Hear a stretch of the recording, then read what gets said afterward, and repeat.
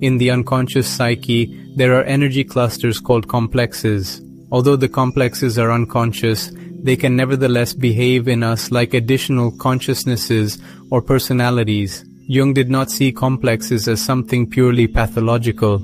Rather, he assumed the existence of normal complexes.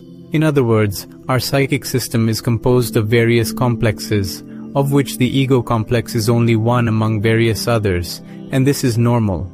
Every human being has complexes, and these are not in themselves the cause of psychological illness.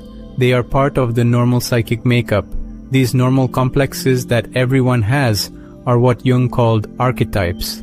The archetypes are more or less the inborn normal complexes that we all have.